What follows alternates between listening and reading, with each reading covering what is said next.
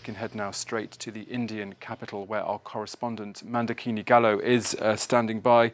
Uh, Mandakini, first of all, what more do we know about the exact uh, circumstances surrounding this attack and why these police officers were targeted in this way?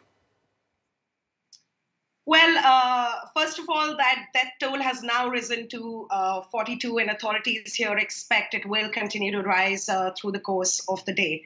Now, uh, the Indian Army and its paramilitary wings have been embroiled in a bitter battle with Pakistan uh, backed militants in Kashmir for the last three decades. So, attacks on the military are uh, fairly common. But yesterday's incident is the worst attack on security personnel in the region since the start of that insurgency. Now, this kind of attack is also rare because in this case, uh, the militants used an improvised explosive device, whereas uh, in most attacks that we've seen in the last uh, two decades or so, they've always mounted attacks using firearms. Now, both India and Pakistan lay claim on the heavily uh, militarized Kashmir Valley, and it has been a bone of contention between the two uh, nuclear rivals ever since they first gained uh, independence back in 1947. Now, yesterday's attack has been claimed by the Jaish-e-Mohammed or the Army of Muhammad, a Pakistan-based militant group who circulated a video of the lone militant, uh, a local Kashmiri boy called Adil Ahmad Dar. In the video, he can be seen delivering his uh, last will and a photograph of him surrounded by guns and grenades. Now, the fact that the alleged uh, perpetrator was a local Kashmiri reflects a growing radicalization of local youths in a militancy that was uh, once dominated by Pakistani or Afghani fighters crossing the border.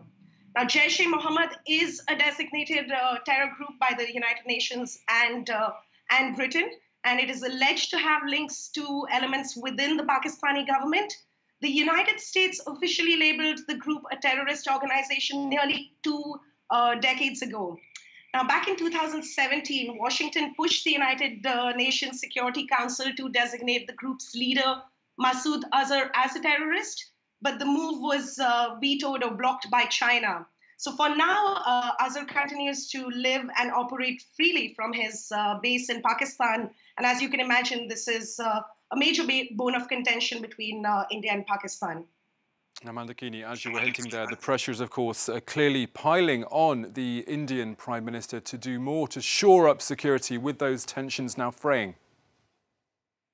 Absolutely. Uh, in fact, Prime Minister Modi was in Kashmir only 10 days ago, where in a strongly worded speech, he proclaimed that he would break the backbone of terror in the state. So, yes, he is. Uh, he will be under enormous uh, pressure to respond to this attack more so because he is seeking re-election in polls that are likely to begin uh, mid-March, in which 850 million uh, Indians will vote to choose the next government.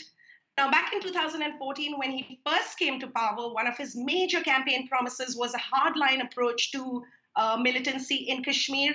In fact, the last time this particular group, Jaish-e-Mohammed, uh, carried out an attack in Kashmir uh, in 2016, in which 19 soldiers were killed, India carried out an uh, incursion into Pakistani territory uh, uh, to destroy uh, militant uh, bases. Uh, they call this the surgical strikes, and ironically, a major Bollywood film, widely seen as a propaganda film that celebrates the government's achievement against terrorism, is in the theaters this week. So, yes, Indians will be expecting a response. the Prime Minister said yesterday that the sacrifice of security personnel will not go in vain.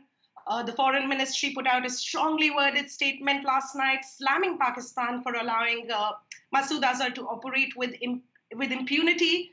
But as far as retaliatory action goes, we'll have to wait and watch. The prime minister has uh, already met with his closest uh, national security advisors and is expected to meet his entire cabinet soon to discuss this issue.